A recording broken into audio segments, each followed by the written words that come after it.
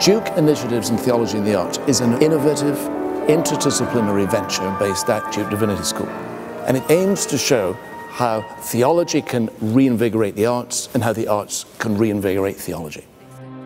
We want to form leaders who will realize the arts have unique powers to unlock the gospel. Since the beginning of Duke Initiatives in Theology and the Arts, we've had a project going with Cambridge University, a joint project between Duke and the UK.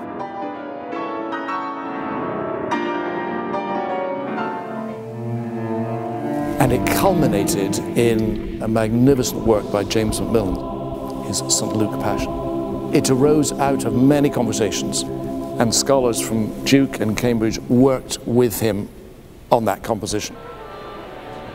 Having done that collaboration, we then asked what's next. And what has emerged is a new research project called Theology, Modernity and the Arts. What this is designed to do is ask what are the forces, the movements, the ideas that have made us what we are? And how can we understand those forces from a Christian perspective?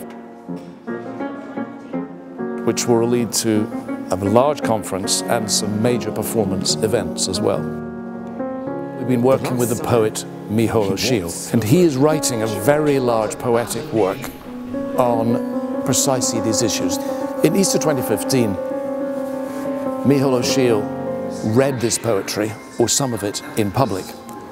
And we had the poetry interspersed with music that I'd written, performed by Cordelia Williams. And that was a public event. And it reminded me again of the very important ways in which different art forms intersect.